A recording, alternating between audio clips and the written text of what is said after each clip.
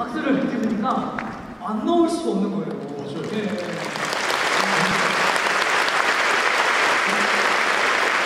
방송이 좋아서 그런가? 박수 소리가 엄청 크게 들려요. 응, 엄청 좋은 아니, 진짜. 스타일에서 튀긴 그런 감자튀김도 먹고.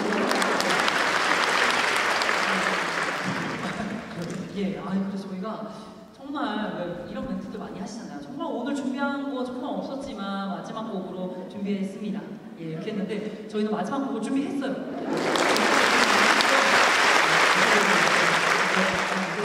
오늘 사실 저희가 이런 오케스트라 공연을 하면서 오늘 굉장히 좋았는데 그 좋았던 이유는 아까 우림 씨가 말씀하셨던 바로 날개에 있지 않았나. 그렇습니다. 네, 여러분들께 다시 한번 소개드리겠습니다.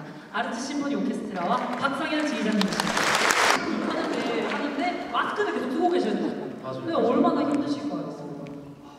이게 뒤에서 이쪽 미니어가 이쪽으로 들리는 소리도 있지만 뒤에서 밀려오는 오케스트라 사운드 때문에 응. 아 이게 흠뻑 취하게 될 수밖에 없네요. 그 약간 아, 정말 이 묘미가 장난이 아닌 것 같아요. 아까 진짜 빠른 비유 할 때는 그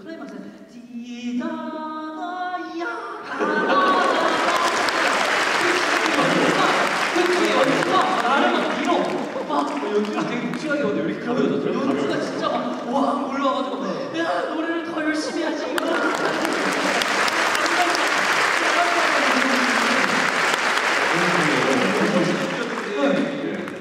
예. 야가다가 내가 나가는 공식이에요.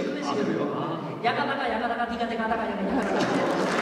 공식이에요. 아시죠? 아시죠? 네. 그리고 오늘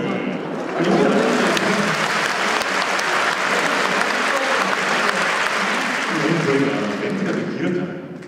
사실 이렇게 여기 앉아 계신 분들이 표정 조금 안 좋으시더라고요. 아, 그러니까요. 나 네, 이거 약간 뒤에 불편한 다시 한번 있습니다.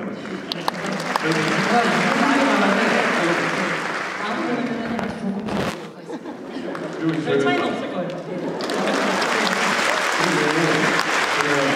그 다음 곡 들려드리기 전에 네. 최근에 또 수능이 있었잖아요. 아 네, 혹시 맞아요. 오늘 오신 뭐 고3 수험생들께서 계신다면 정말 고생하셨다는 말씀 드리고 싶고 어, 맞습니다. 어, 또선생님 부모님께서 계실 수도 있으니까 어, 정말 좋은 결과 있으시길 바라겠다고 다시 한번 말씀드리고 싶습니다.